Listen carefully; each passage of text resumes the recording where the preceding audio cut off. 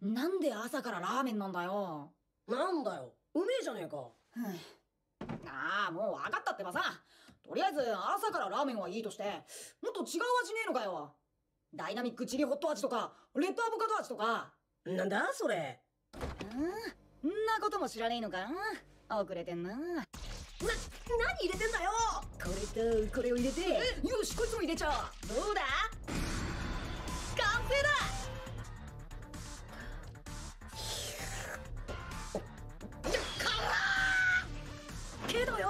これはこれでうまい